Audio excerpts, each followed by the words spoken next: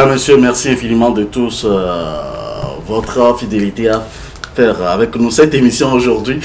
Nous sommes très honorés en présence des invités qui nous honorent euh, de leur patience.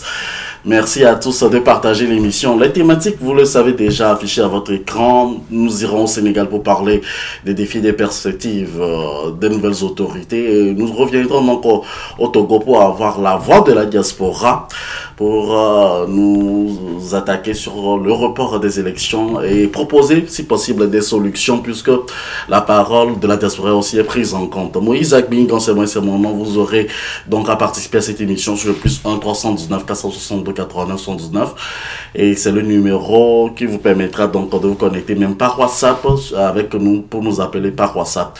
Alors euh, pour euh, le décor aujourd'hui et surtout pour la disponibilité donc de nos invités. Je voudrais donc vous faire une petite présentation par rapport à, nos invités de ce jour. Nous avons le privilège de recevoir Monsieur Amedoji Koku, citoyen engagé depuis Bruxelles. Monsieur Amedoji, bonjour. Bonjour Moïse, c'est depuis Liège, mais en Belgique toujours. Ah, merci. C'est une centaine de kilomètres de, de Liège. Merci, ça fait plaisir de vous recevoir aujourd'hui dans notre émission Avis de la diaspora. Euh, aujourd'hui, depuis l'Afrique aussi, comme je l'avais précédemment dit, toujours entre des avions. Il est économiste, analyste politique, euh, expert en restructuration. Monsieur Dodge King, bonjour. Bonjour Moïse. Ça fait plaisir également de vous recevoir. Cela fait quelques heures que nous avons eu les nouvelles, donc euh, surtout les détails concernant le nouveau gouvernement au, au Sénégal, avec à la tête euh, Monsieur le Président euh, Diomaye Faye et son collaborateur Ousmane Sonko. Et aujourd'hui, donc, euh, un nouveau quinquennat pour les nouvelles autorités du Sénégal, une nouvelle jeunesse qui prend le pouvoir. Quelles sont les lectures que vous faites très rapidement, nous aurons à donner donc 2 minutes 30 à chacun d'entre vous pour planter le décor. Et tous ceux qui nous appelleront pour ces sujets d'aujourd'hui, nous leur donnerons deux minutes. Merci infiniment de votre compréhension. Et donc le Premier ministre euh, Ousmane Sonko a présenté un, un, nouveau gouvernement et qui fait part belle au cadre de son parti. Voilà donc ce qu'écrit euh, l'une des presses écrites de la diaspora. Monsieur Dodro King, votre première lecture par rapport à ce nouveau gouvernement du Sénégal? D'abord, c'est l'occasion pour moi de féliciter le peuple sénégalais qui fait une fois encore preuve de maturité. Maturité dans la compréhension de son engagement vis-à-vis -vis de cette composante de la vie d'une nation qui est la politique. Mes séjours au Sénégal dans le passé m'ont permis de connaître et de mesurer le niveau de maturité du peuple sénégalais qui se traduit même déjà dans les œuvres d'art qu'on retrouve dans les ruelles de Dakar. Bien évidemment, c'est à Dakar que j'ai compris que la maturité d'un peuple, sur le plan collectif, la maturité de la conscience d'un peuple, se traduit vraiment dans les œuvres d'art qu'on peut observer dans les ruelles de ce peuple. Ils ont montré une fois encore que, venant au niveau de la politique, ils sont capables de nous enseigner des leçons d'autres peuples d'Afrique. Ils sont capables de donner carrément espoir que l'Afrique peut changer véritablement un jour. Si 18 millions d'Africains résidant au Sénégal décident de prendre leur destinée en choisissant la voie de la démocratie, de l'alternance, de la liberté et fait échouer tout ce qui est contraire au principe qui donne, qui permet aux citoyens d'un peuple de jouir librement de leurs droits, nous ne pouvons que les remercier. Oui, c'est une élégance pure qu'on a observé de la façon dont Ousmane Sonko a passé la balle à son collègue du parti et ainsi ils ont marqué le but. C'est également de la pure élégance et fait preuve de responsabilité quand on voit que Ousmane Sonko décide de prendre la tête du gouvernement qui doit implémenter le projet de société à partir duquel le président a été élu. C'est également fait preuve de responsabilité en acceptant d'être aux côtés du nouveau chef d'État pour conduire le gouvernement dans sa mission. Décidément, moi, pour ma part, je n'ai pas d'autre mot que de, des félicitations et souhaiter franc succès dans la collaboration entre le président de la République et son premier ministre. Je m'arrête là. Merci, monsieur Dodro. Alors, monsieur Amedodi, et vous? Euh, J'aimerais d'abord, avant toute chose, et j'espère que les téléspectatrices et téléspectateurs de Afro Web TV me accepteront que je fasse là, m'incliner dans la prière ou dans le recueillement euh, aujourd'hui à la veille de deux grandes commémorations.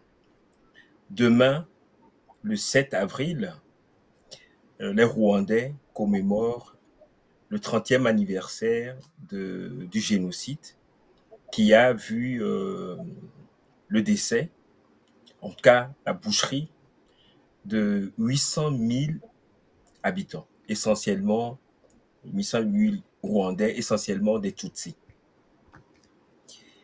Euh, ça a été un déchirement énorme.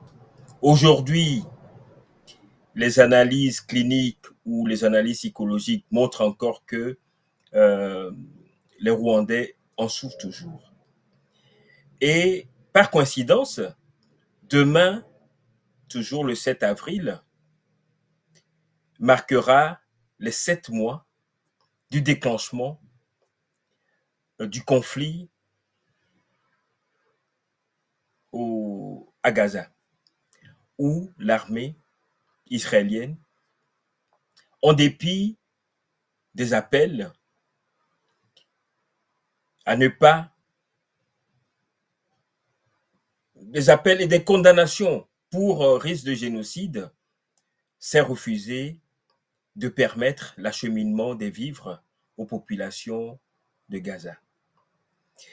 J'ai appris également que la commémoration du 30e anniversaire du, du, génocide au Rwanda se fera en présence du gratin international, ce qu'on appelle la communauté internationale. Il y a quelques jours, la France, par la voix de Macron, a reconnu encore officiellement la responsabilité de la France et d'autres pays occidentaux dans ce crime, dans ce drame immonde. Nous sommes encore à six mois de la tuerie orchestrée par l'armée de Benjamin Netanyahou dans la bande de Gaza. Aujourd'hui, on voit que on laisse l'armée israélienne massacrer le peuple palestinien. J'espère que dans 30 ans, nos enfants n'entendront pas encore des excuses ou bien des dirigeants du monde c'est des larmes de crocodile en reconnaissant qu'ils ont eu tort de laisser la Palestine, de laisser l'Israël faire ce qu'il est en train de faire aujourd'hui. Donc, je clôture ce chapitre et j'aimerais dire ceci très très rapidement parce que je crois que King Dodro a tout dit au sujet du Sénégal à l'entame de cette discussion. Je crois que les Africains, les Africains sont fiers. Excusez-moi. Les Africains sont fiers du, je, je pourrais dire, de la révolution électorale opérée par le peuple sénégalais, essentiellement des jeunes, qui malgré l'adversité, malgré les coups de force perpétrés par Macky Sall, ont tenu bon et ont pu chasser, mettre fin à une dictature naissante au Sénégal. J'aimerais mettre l'accent sur le rôle des peuples africains dans la conquête de leur souveraineté et liberté. Je ne peux pas faire l'économie de faire un clin d'œil aux autres peuples d'Afrique qui sont encore sous le joug des dictatures et leur dire de suivre ou de s'inspirer de l'exemple du Sénégal où le peuple debout s'est mobilisé pour mettre fin aux forfaitures que Macky Sall a voulu commettre. Nous développerons tout cela dans le reste du débat. Merci d'avoir planté le décor, monsieur Amidodi Kokou. Vous êtes citoyen engagé. je, suis tenté de vous poser beaucoup de questions à la fois. Mais monsieur King Dodgero, aujourd'hui, c'est un gouvernement de rupture qui prend place et qui prend donc euh, les règnes du côté donc du Sénégal. Est-ce que quels sont les, les défis probablement auxquels seront confrontés seront vous Déjà, nos félicitations continuent hein, au peuple sénégalais qui a déjà réussi le pari sur le volet gouvernance politique. Mais comme on peut le vivre dans la chair, dans la peau, étant africain, on ne vit pas que de la politique. La politique n'est qu'une composante de la vie de la nation. Il faut regarder, les défis sont aussi énormes pour le Sénégal comme pour tout pays africain. Il est bon de les applaudir sur ce succès qu'ils réalisent sur le plan politique. C'est ce que beaucoup d'Africains, beaucoup de pays africains peinent à réaliser. Mais les défis sur le plan économique sont énormes et c'est en cela qu'ils ont fait des promesses électorales à leurs citoyens, au peuple sénégalais, qu'ils amélioreront leur situation, leurs conditions de vie et le sentiment du bien-être dans le pays une fois qu'ils arriveraient aux affaires. C'est le lieu de rappeler un peu un résumé, faire une cartographie de la situation sur le plan économique du Sénégal et les enjeux, les défis qui doivent plutôt relever. Aujourd'hui, pour 18 millions d'habitants, nous constatons, nous constatons avec euh, regret que le crédit à l'économie se situe entre 20 à 25% ce qui est très désastreux, pour un pays qui se veut souverain économiquement ou souverain sur le plan politique ou monétaire un jour. Nous avons également un rapport sur la bancarisation street au Sénégal qui est presque à moins de 25%. Le plus dur se situe au niveau même du secteur économique qui est dominé à 97% par l'informel. Pourquoi est-ce que l'informel domine autant dans un pays moderne comme le Sénégal? On a donc apporté des réponses à, à cette situation de l'économie informelle qui domine donc euh, la situation du pays. En comment est-ce que on, soit arrivé à ce stade où, depuis l'indépendance jusqu'à ce jour, on puisse réaliser que nous avons des pays dont l'économie est dominée à, plus de 97% par le secteur informel. C'est juste parce que on peut ça peut faire rien. Nous sommes dans des États où on a l'impression que les citoyens ont une situation irrégulière. Pourquoi je dis situation irrégulière? Il est vrai, tu es sénégalais, mais du moment où tu n'as pas de papier, tu n'as pas d'identité, tu vis illégalement dans ton propre pays. Juste parce que dans, à la base, dans l'organisation structurelle de nos pays, on n'a pas intégré la notion de l'homme dans sa contribution sur le plan économique et social et dans tous les domaines de la vie d'une nation. Donc, du coup, nous vivons dans des pays ou sur un continent, plus de 70% ou bien voire 80% des personnes n'ont pas d'identité de leur naissance jusqu'à la mort.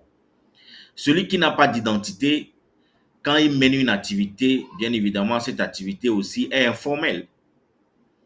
C'est ça qui justifie comme problématique structurelle à la base de l'économie informelle qui gangrène l'économie de nos pays africains, qui justifie en partie la faiblesse de, des, recettes fiscales ou de l'assiette fiscale dans nos États. Et de facto, qui crée le besoin inévitable de se retourner vers des institutions de Bretton Woods pour se faire financer nos budgets de fonctionnement. Parce que vous avez moins de 10% de la population qui sont contribuables. Les États forts économiquement font tout pour que 100% de la population soit contribuable, contribue à l'assiette fiscale. Hum. Dans nos pays africains, moins de 10% uniquement contribuent à l'assiette fiscale. Et c'est ce qui rend difficile le financement du budget public à partir des recettes fiscales et au taxes qu'on peut dénommer. Et c'est ce qui oblige certains pays même à être des pays fiscalistes parce que quand ils, attrapent déjà la frange qu'ils maîtrisent comme étant formelle, ils leur tapent dessus, les pressent pour qu'ils payent pour les autres qui ne payent pas. Du coup, ceux qui payent et qui s'engagent à mener des activités régulièrement dans les pays africains se retrouvent face à un état gendarme. On a l'impression des fois que d'avoir réservé ses épargnes pour investir.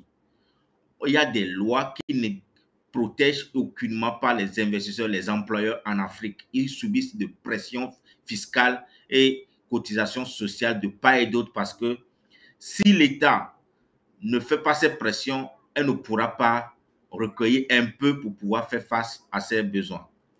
Nous avons non seulement ces données sur l'économie, il faut également noter que le Sénégal, son économie est tournée vers l'importation.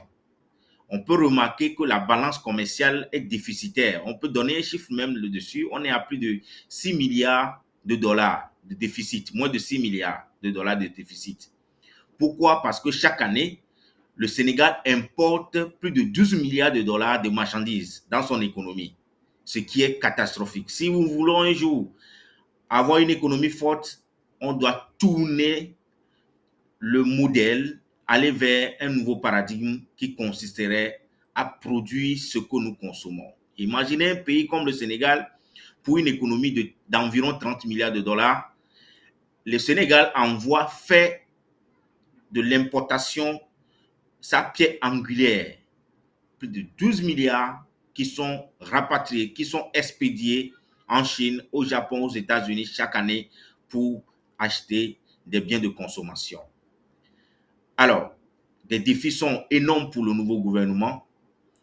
Moi, je ne peux que relever quelques-uns que nous avons pu noter. Il y a, ils ont, ils ont quand même, euh, sur le plan couverture d'électricité, euh, le Sénégal a, fait beaucoup d'efforts en ces derniers temps au niveau, euh, le taux d'électrification aujourd'hui au Sénégal en milieu rural, c'est avoisine les 60%. Et, en milieu urbain, on est autour de 85%, ce qui est énorme, ce qui est déjà très bon à féliciter. Et sans l'électrification, on ne pourra pas un jour espérer à une industrialisation certaine du Sénégal. Il faut donc qu'ils arrivent à atteindre les 100% pour, pour pouvoir satisfaire le désir de ceux qui voudront bien se lancer dans l'industrialisation. Oui, alors, Maintenant, 10 secondes. Au niveau Allô? Oui, 10 secondes, terminé. Ok, le, ok, 10 secondes, bien sûr. Le défi reste énorme au niveau routier. Je pense que le Sénégal a un réseau routier très vaste. Nous avons, je pense qu'on est à autour de 16 495 km de routes qui sont déjà classés. Dans les 16 000 km de route, il y a que 10, il y a 10 000, il y a, il y a 10 000 km qui sont non revêtus c'est énorme comme défi parce que la route permettra donc le, déplacement des, peuples dans ce nouveau Sénégal que et, Sonko a promis à travers, à travers cette campagne qui a abouti à l'élection de son, de son collaborateur proche. Alors, Monsieur Amidodi, deux fiscalistes à la tête donc du Sénégal aujourd'hui. Quelles sont vos impressions et quels sont les défis majeurs donc de cette défi, de fiscalistes? Justement, Moïse, euh, tu fais bien de le préciser. Ce, ce n'est pas un hasard, ou en tout cas, c'est un hasard, c'est un bon, un bon hasard, que deux inspecteurs des douanes soient choisis pour euh, présider aux destinées du Sénégal. Je ne vais pas revenir sur les défis, même dans les pays occidentaux où nous vivons, euh, les défis sont importants. Mais King d'autres, on a parlé abondamment. Moi, j'aimerais souligner plutôt les opportunités. Nous savons que le problème structurel, le problème économique dont nous souffrons en Afrique est essentiellement structurel. Lorsque Dojo parlait de l'importance du secteur informel et du fait que la balance commerciale du Sénégal est, structurellement déficitaire, c'est dû à quelque chose. Et cette chose-là, essentiellement, la plus grande composante, ce n'est pas le fait que les populations veulent éviter le paiement des impôts ou bien des, taxes, mais c'est également à cause de la monnaie que nous utilisons. Cette monnaie qui est, j'allais dire, mécaniquement, artificiellement élevée, qui donne l'impression, c'est pas moi qui le dis, les économistes le disent, donne l'impression amène les Africains à vivre au-dessus de leurs moyens. Vous avez entendu le discours de Sonko en tant que Premier ministre. Il aimerait travailler à une politique d'industrialisation du Sénégal, politique qui n'a jamais existé sous les quatre derniers présidents. Je crois qu'on peut espérer qu'en s'industrialisant, parce que lorsqu'on parle de financement du budget de l'État, on parle des différentes taxes directes et indirectes que l'État peut percevoir. S'il n'y a pas des industries, s'il n'y a pas de la valeur ajoutée à taxer par l'État, où est-ce que l'État peut trouver de l'argent pour construire les routes? Où est-ce que l'État peut trouver de l'argent pour construire les universités, les centres de santé, les centres d'éducation? Donc, il s'agit également de cela. Je crois que Faye et Kousanko ont bien vu la faille des systèmes antérieurs et je me réjouis, et je termine par là, que euh, le duo Sonko et Faille ait décidé de travailler ou d'axer en tout cas leur programme de gouvernement sur trois paramètres essentiellement, à savoir la souveraineté qui peut s'entendre du point de vue politique et économique, l'équité ou la justice, ce qui a cruellement manqué l'État qui a dans son rôle régalien la collecte des ressources doit pouvoir les redistribuer de façon équitable. Et ils ont également promis, comme dernier axe, de travailler à la prospérité. J'allais rajouter une prospérité partagée pour éviter les systèmes antérieurs, surtout renforcés par Macky Sall, qui consiste à mettre en place une oligarchie ou en tout cas à nourrir aux dépens de 90% des populations qui sont obligées de faire des petits travaux et de les faire de façon informelle. Donc, moi, j'aimerais dire que, surtout avec la découverte et l'exploitation prochaine du pétrole et du gaz, si le Sénégal peut maîtriser lui-même son circuit et la filière, elle pourrait créer de la valeur et grâce à cette valeur-là, travailler au développement et à l'épanouissement du peuple sénégalais dont la jeunesse souffre beaucoup et la jeunesse espère, a mis tout son espoir sur son co à cause du discours qu'il tient, à cause de l'espoir qu'il redonne aux, Sénégalais. Donc c'est une bonne chose. Laissons-les venir, donnons-leur six mois, voire un an, pour voir s'ils tiendront leurs promesses Et ils l'ont dit, il n'est pas question de laisser Sonko ou, ou, ou euh, seul au palais présidentiel. Il faut que tous les Sénégalais travaillent à faire aboutir le programme de campagne de, ces, de ce duo-là. Donc, pour moi, ce n'est que du bon qui pourrait arriver aux Sénégalais. Plusieurs, oui, plusieurs espérons aussi travailler.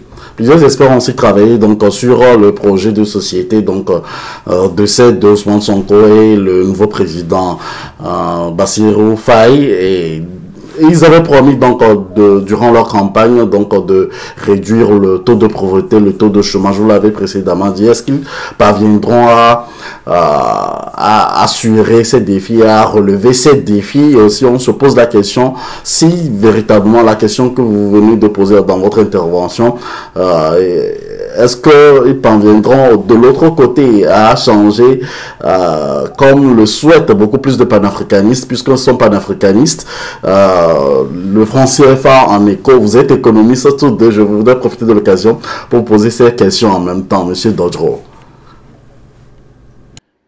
Bon, je suis de ceux qui disent que pour arriver à parler de la monnaie ou de la souveraineté monétaire, le plus grand défi que les pays africains qui ont en commun le, CFA ont aujourd'hui, c'est le défi de la souveraineté économique dans un premier temps.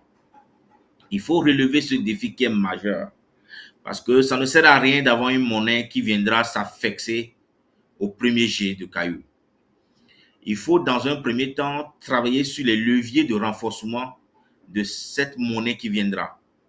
Vous ne pouvez pas être dans un système à dominance vous ne pouvez pas être dans une économie dominée à plus de 80% par l'importation et espérer demain avoir une monnaie forte, même si vous avez une monnaie propre à vous. Vous allez vous retrouver en rupture de devise pour importer, comme certains pays qui ont déjà leur propre monnaie longue. J'ai donné tout à l'heure certains indicateurs de l'économie sénégalaise. Aujourd'hui où je vous parle, la balance, la balance commerciale est déficitaire à hauteur de moins de 6, 6 milliards de dollars. Il faudra donc travailler plutôt sur des solutions pour renverser cette tendance dans un premier temps. Et aucune meilleure solution ne viendrait si ce n'est de la production locale qui, qui pourra freiner l'importation. Une fois que l'importation est freinée, on ne sollicitera plus la on ne plus des devises étrangères pour faire des acquisitions. Si on procède par la production locale, on sera moins dépendant de la réserve qui est constituée auprès de la banque française, auprès du trésor public français. Et si on produit localement, si on adopte la politique de production de ce qu'on consomme, on va réduire des, définitivement la dépendance vis-à-vis de la production des biens de consommation de l'extérieur. Et personne ne fera un jour de chantage sur ce pays. Et quand on changera de modèle en ce sens, vous verrez qu'on va consommer systématiquement le taux de chômage qui gangrène le pays. Vous verrez systématiquement que le problème que je viens de citer dans à l'entame de, de, mes propos en disant que l'économie sénégalaise est dominée par l'informel et que sur 100 entreprises, il y a 97 qui sont informelles, le Sénégal devait revisiter la base structurelle de l'organisation de sa nation pour intégrer les citoyens dans son mécanisme de gestion et de planification de tout projet. Si cela n'est pas fait, vous êtes, on, est, on, est, on convient que tout ce qui est promis aujourd'hui serait donc de nouveaux narratifs auxquels on sera habitué et jeté cinq ans après aux oubliettes. Quand on parle, quand il, par exemple, il parle de la digitalisation de l'économie, mais déjà ce narratif me fait rire. J'ai dit non, ne parlez même pas de la digitalisation de l'économie. L'économie d'abord est informelle. C'est d'abord le premier défi que vous avez. Vous parlez même de la digitalisation de quelque chose qui est informel. Même si vous dites que vous dites, aujourd'hui les moyens de paiement en Afrique sont tous digitalisés. 80, 70% des populations africaines ont des téléphones. Mais là, là, nous parlons de taux de, bancarisation qui est moins de 25%. Voici les, données réelles de la population sénégalaise.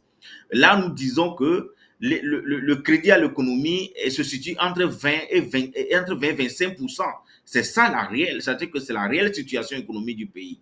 Ce n'est pas la digitalisation qui est la base de la faiblesse de l'économie. Ce n'est pas le manque de digitalisation qui est la base de la faiblesse de l'économie sénégalaise. Donc, quand ils avancent déjà des idées dans ce sens, comme étant euh, quelque chose qui, sur lequel il faut, il faut bondir, moi, je dis, mes chers amis, vous avez des bonnes intentions, mais vous risquez de prendre le mauvais métro.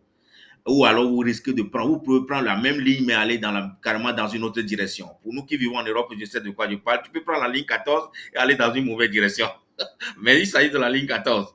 Alors, je veux dire, parler de la relance économique en évoquant la digitalisation, je me dis c'est une grande erreur, c'est une erreur fatale parce que les problématiques liées à, à la faiblesse de l'économie du Sénégal ne se, ne, se, retrouvent pas au niveau du manque de digitalisation. Et puis, j'ai également regardé, revisité leur programme de société dans lequel ils parlent des agropoles. Mais je dis que c'est une erreur fatale également pour nos gouvernements de vouloir se substituer en acteur économique. De quoi le peuple a besoin? Même avant qu'il ne vienne au pouvoir, c'est toujours le peuple sénégalais qui a travaillé et payé des impôts, contribué à maintenir les caisses de l'État à travers les taxes qui sont perçues ou les consommations que chaque, chaque consommation du Sénégalais, il perçoit de TVA et d'autres taxes connaissent. L'État ne pourra pas apprendre aux Sénégalais comment faire le champ d'arachide. C'est un peuple millénaire qui a la maîtrise de la culture d'arachide et de l'agriculture. Il faut plutôt aller vers une solution plus pragmatique et pratique qui consisterait à faciliter l'accès aux outils de production aux citoyens sénégalais qui sont des paysans qui vivent à 70% de l'agriculture et de la pêche. Au lieu de s'injecter, de, s'inviter dans un domaine qui n'est pas le vôtre, vous avez déjà maîtrisé la gouvernance politique, le peuple a déjà l'économie en main, c'est de lui donner plutôt des outils, lui faciliter l'accès à tout ce dont il a besoin pour augmenter la production et donner la chance donc à une future industrialisation. À l'heure où je vous parle, le Sénégal ne peut même pas aborder l'industrialisation. Si le Sénégal aborde aujourd'hui le projet d'industrialisation, et je le dis, c'est toujours la même chose. Vous rentrez dans le même métro, vous me prenez une mauvaise direction. Cela veut dire quoi? Aujourd'hui, la situation euh, économique du Sénégal est d'abord rudimentaire. L'agriculture, on continue d'aller au champ avec la houe. Il n'y a pas l'amélioration de l'outillage d'abord de l'agriculture pour booster la production locale en agriculture pour pouvoir permettre d'avoir un bon stock de, matières premières que l'industrie pourra consommer. Si aujourd'hui, le Sénégal veut développer l'industrie de chocolaterie, le Sénégal sera obligé d'importer la fièvre ou la matière, la la semi transformée que les Occidentaux achètent au Ghana ou en Côte d'Ivoire. Si aujourd'hui le Sénégal veut se lancer dans la sidérurgie ou veut se lancer dans, dans la sidérurgie aujourd'hui, le Sénégal va importer les matières transformées avant de faire, avant de concevoir des produits qui, qui viennent de fer. Et pourtant, ils ont des gisements de fer. Et si aujourd'hui le Sénégal veut développer le secteur, par exemple, des ustensiles, je vous assure que le Sénégal n'ira pas, par exemple, acheter des matières premières à Dakar. Ce serait la Chine qui va lui fournir la matière première. Ça va toujours rester dans la même veine que nous dépendons de l'importation pour alimenter notre industrie. Ça ne sert à rien de courir. On ne va pas réinventer la roue. L'Europe ne s'est pas développée en sautant de, des points. Il faut d'abord structurer, développer l'économie primaire qui est l'agriculture. L'agriculture permettra de fournir assez d'éléments pour donner et alimenter l'industrie qui va donc constituer une chaîne de, de, de, de, valeur qui va se créer tout autour. Mais si aujourd'hui vous vous jetez dans l'industrialisation, vous dépendrez, vous allez dépendre toujours à 80% de l'importation des matières premières pour pouvoir alimenter cette industrie. Merci. que l'Afrique, nous sommes très loin du compte, nous sommes très loin du compte. Il faut prendre les choses à leur base les plus simplifiées. Il faut remarquer que on, on oublie carrément dans nos, dans la, nos gouvernants oublient carrément le besoin réel du citoyen pour être de vrais acteurs économiques. J'ai l'impression qu'on veut toujours maintenir des, des, citoyens dans une posture de citoyens, des, des nécessiteux, de ceux qui doivent vivre de l'aide. Merci. Monsieur Dodro. Alors, euh, votre temps était épuisé, c'est pourquoi je vous arrêter. Alors, euh, Monsieur Amedodi, dites-nous, euh, aujourd'hui, plusieurs panafricanistes pensent que le, vu les relations entre le Sénégal et les autres pays, surtout les relations euh, de Bassirou Diomaye Faye et puis donc de Sonko avec les, les autres pays de l'AES, ils pourront consolidariser donc les relations et permettre donc aux pays de l'AES de faire un retour dans la CDAO. Vous, en tant que panafricaniste, vous pensez la même chose? Oui, rapidement, avant de venir sur cette question, cet aspect politique qui est très très important, j'aimerais dire que je ne souscris pas à l'afro-pessimisme. Et King Dodro en a parlé longuement. Moi, lorsque j'entends parler d'agropole, il s'agit de fonder le développement sur, sur l'agriculture. Donc, dire que le fait d'avoir souscrit à l'agropole est une erreur, je crois que enfin, il y a quelque chose qui, que j'ai pas très bien compris dans le raisonnement de mon, mon co-débatteur. Maintenant, j'aimerais dire ceci. Aucun pays, et ça, nous sommes d'accord, ne peut se développer sans tenir compte de la création des chaînes de valeur, c'est-à-dire partir de ce ce pays-là, ce dont le pays dispose de base, le transformer, et c'est ça l'industrialisation. Transformer rajouter de la valeur à ce qu'on peut trouver sur place. Donc, lorsque M. Dodro dit que le Sénégal, pour fabriquer, par exemple, des cuillères ou des tôles, sera obligé ou bien ira chercher la matière première du fer ailleurs alors qu'il en a dans son sous-sol, je pense que ça, ce n'est pas de l'industrialisation. C'est encore... Euh, voilà. Donc, je ne pense pas que Sonko soit dans cette logique-là. Lorsque... Et l'avantage de Sonko et de Ousmane Faye, je ne sais pas si vous, l'avez, vous, vous avez pu constater, c'est leur humilité. C'est-à-dire, nous ne sommes pas là, nous ne savons pas beaucoup plus que vous, et ils sont prêts à apprendre, ils sont prêts à se faire conseiller. Donc, au lieu de commencer à les critiquer, si nous avons des suggestions, des conseils à leur donner, ça sera du devoir de nous les Africains de le faire. Ils viennent de prendre le règne du pays. On sait d'où vient le Sénégal et je crois qu'il faut leur donner ce bénéfice de doute qui travailleront dans la sincérité et dans l'honnêteté pour augmenter ou bien pour faire regresser la pauvreté de leur population.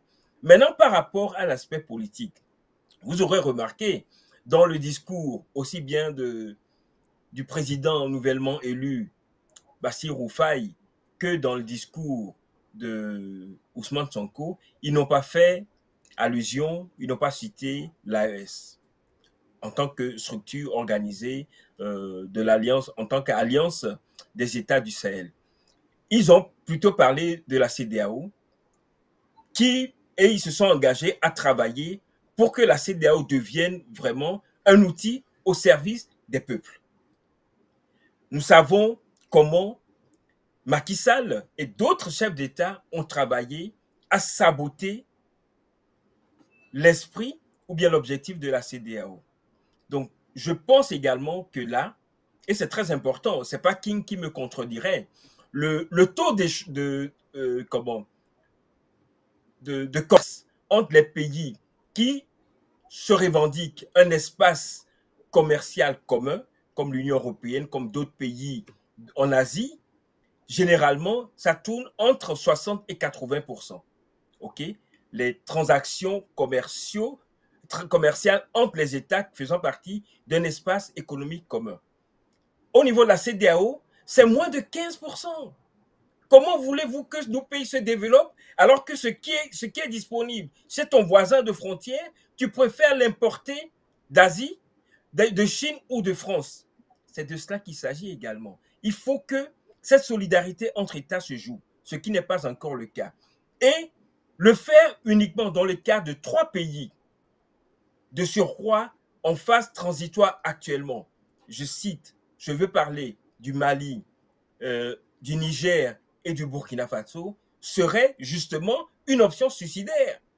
Donc, je pense que Ousmane Sonko et Bastille Roufaille sont plutôt visionnaires en disant que nous, nous allons travailler à remettre la CDAO sur les rails pour faire en sorte que la vision des pères fondateurs de la CDAO et ce que les Africains de l'Afrique occidentale voudraient voir, le rôle qu'ils voudraient voir joué par la CDAO, c'est-à-dire un moteur pour propulser l'économie, devienne réellement une réalité. Et je pense qu'ils ne se sont pas trompés en faisant cela. Moi, je voudrais dire en terminant, je ne, si aujourd'hui les trois pays de l'AES ont décidé de s'éloigner, voire même de sortir de la CDAO, c'est en raison de la façon dont les dirigeants, y compris Macky Sall, au niveau de la CDAO, se sont comportés, en se mettant sous la coupole et sous les bottes de la France ou d'autres puissances occidentales. Si nous avons deux ou trois Sonko au niveau de la CDAO, vous verrez que l'Afrique peut réellement changer. Et c'est le pari qu'il faut plutôt se donner. Alors, euh, grâce. Non, terminé, terminé. Alors, terminé, monsieur Amido dit terminé. Il y avait une coupure euh, dans quatre temps par rapport à l'Internet. Allez-y, terminé. Il faudrait que nous, les Africains, puissions miser sur euh, la trajectoire du développement de nos pays en tenant compte de nos réalités. Il ne faut pas importer des modèles. Nous avons déjà, comme King vient de le dire, une matière première, c'est la CDAO.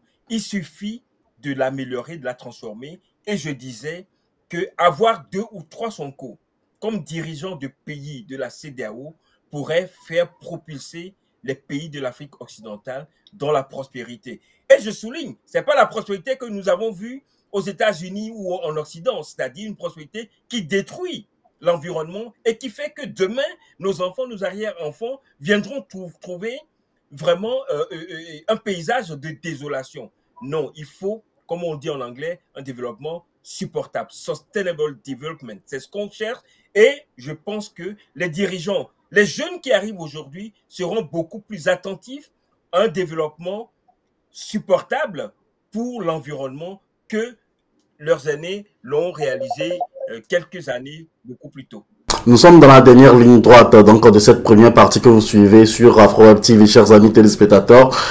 Nous sommes tentés donc de poser des questions euh, aussi dignes de ce nom.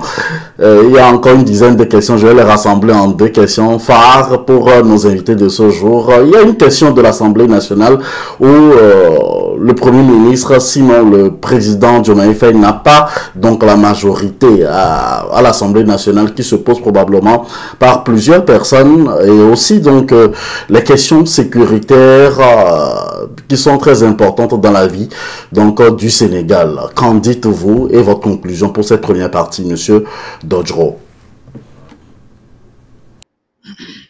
Alors, aujourd'hui, pour revenir aux questions sécuritaires, il faut toujours retourner à la base, à la cause qui, qu'est-ce qui est à la base des situations d'insécurité dans nos pays aujourd'hui qui sont arrivés même à abriter du terrorisme. Terrorisme insupportable par les présidents précédents de Mali, du Niger, du, Burkina Faso qui ont conduit les militaires à prendre donc euh, la destinée de ces pays parce que ils perdaient carrément la souveraineté territoriale face à l'avancée pressante des terroristes. La, la situation d'insécurité en Afrique puise son origine dans le fait que nous apprécions mal la définition de la nation dans sa dimension humaine. La définition de la nation, ou bien de la notion de nation dans sa dimension humaine, voudrait dire qu'on considère une nation comme étant l'ensemble des des, individus partageant les mêmes mœurs, traditions et cultures, de un, et qui habitent sur un territoire délimité géographiquement. Pour identifier ces citoyens qui partagent les mêmes mœurs, cultures et traditions, il faut donc mettre en place des, des outils de reconnaissance et de suivi depuis la naissance jusqu'à la mort de ces citoyens. Si vous êtes au Togo, il suffit seulement de naître à Flaou que vous êtes tenté de prendre la nationalité ghanéenne ou togolaise par moment. Parce que il n'y a aucune organisation structurelle qui, qui intervient dans la prise en main, dans la prise en compte de l'individu depuis sa naissance. Au point où on constate qu'il y a beaucoup d'individus sans identité sur nos territoires. Et vous savez, quand un territoire abrite des individus sans identité, ce territoire est exposé à toute menace d'insécurité. Donc l'origine de notre de l'insécurité que nous vivons dans ces pays, qui doit qui est tellement préoccupante, vient du fait que on n'a pas intégré des vrais outils de gouvernance de citoyens ou de gestion du citoyen dans notre plan d'organisation de la nation des nations africaines. Donc du coup, du moment où on ne peut pas facilement retrouver les gens quand ils commettent des forfaits, du moment où quand vous vous déplacez d'un point A à un point B, il est difficile de vous retrouver, du moment où vous êtes, euh, vous n'avez pas de lien avec une banque, vous n'avez pas, vous avez même des propriétés terrain, mais ces propriétés terrain ne sont pas fichées. Du moment où il y a l'absence de ce qu'on appelle en Europe des fichiers nationaux intégrés dans l'ensemble des pays africains, la plupart des pays africains, nous sommes toujours exposés aux menaces d'insécurité et voire même le terrorisme parce que nous vivons sur un territoire où plus de 70% des populations sont sans identité, sont des inconnus si vous voudrez, où tout le monde peut commettre n'importe quel forfait et se retrouver de l'autre côté disparaître dans la nature. Donc, le Sénégal a intérêt à regarder de près ces problèmes d'ordre structurel parce que quand vous avez mal à la tête, on vous donne juste le paracétamol sans comprendre qu'est-ce qui provoque les maux de tête? Ça peut être que vous êtes ballonné, ça peut être que vous avez mal à la dent et que ce qui provoque les maux de tête. Et si on vous donne juste le paracétamol, les antalgiques pour vous calmer la douleur, sachez qu'on n'a pas résolu votre problème. Le problème d'insécurité, c'est comme le mal de tête. On doit plutôt chercher à comprendre qu'est-ce qui est à la base de l'insécurité dans nos pays africains et résoudre le problème à la base. Et c'est ce que je viens d'évoquer. C'est une partie que je viens d'évoquer. Et une fois qu'on retourne pour sceller ce aspect, ou bien mettre en place des outils d'organisation et de suivi des citoyens, depuis leur naissance jusqu'à leur mort, en intégrant leur rapport avec l'État. Nous avons recensé près de 14 rapports. Hein. Quand un individu naît jusqu'à sa mort, il entretient 14 rapports avec l'État. Une fois que tous ces 14 rapports minimum sont bien structurés et fichés, l'État a la certitude d'avoir la vraie identité de ceux qui habitent sur son territoire et de maîtriser, de contrôler leurs mouvements, leur aller venue et de savoir de quoi ils vivent, de, quoi ils ne vivent pas. Et on aura des vraies statistiques. L'absence même de cet instrument, de ces outils-là me, fait même dire que quand on nous dit souvent en Afrique qu'on est un nombre d'habitants, je me dis, mais moi, on se base sur quoi?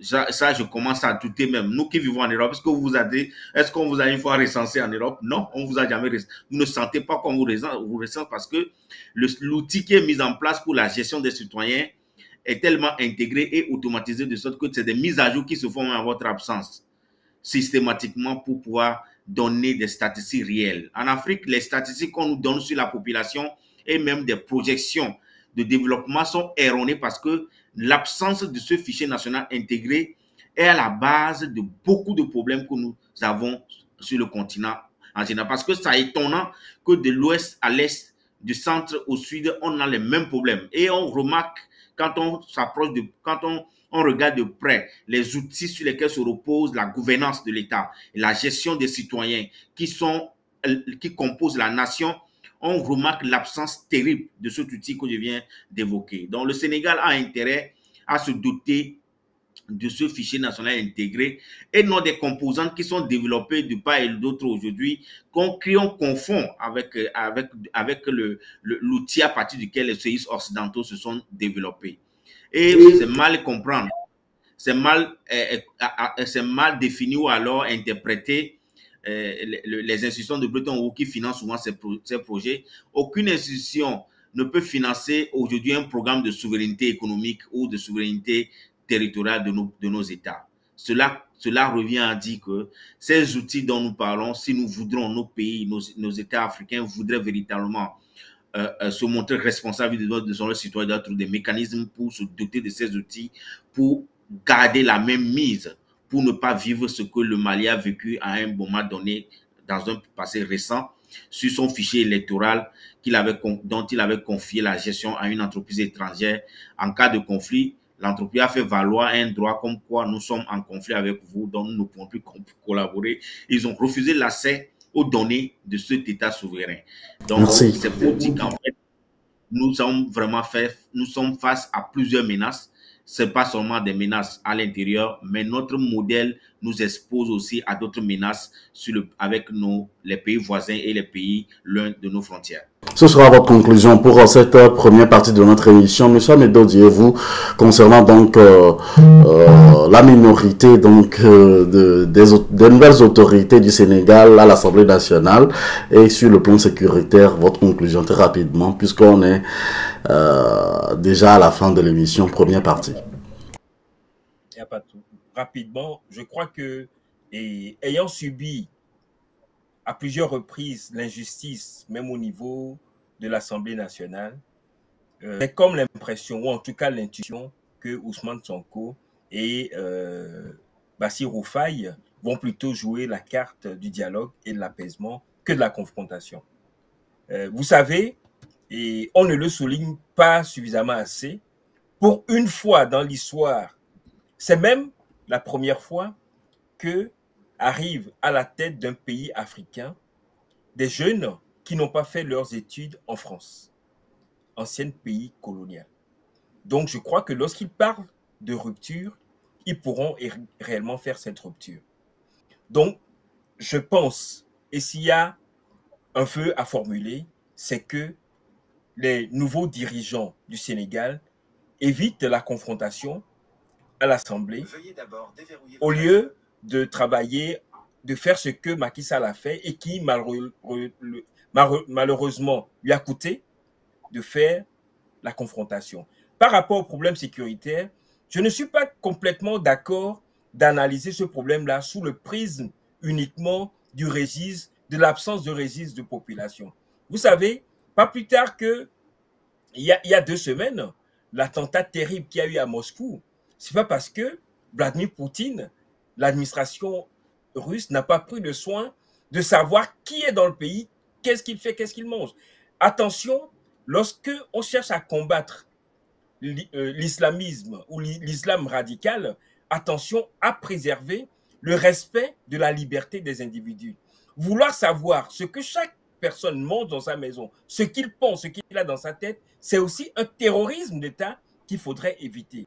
Donc, gardons-nous, gardons-nous de penser que un État qui sait combien d'habitants se trouvent sur son territoire, combien sont ceux qui sortent le matin pour faire, pour aller au-delà d'un rayon d'un kilomètre de chez eux, c'est ça la gestion intégrée d'un pays. Le terrorisme, comme on le dit, et je termine par là, King Dodro disait tout à l'heure que le développement du pays doit également être basé sur le, paradigme du, de, de la consommation de ce qui se produit. Les armes à feu, est-ce que c'est au Sénégal que ça se produit?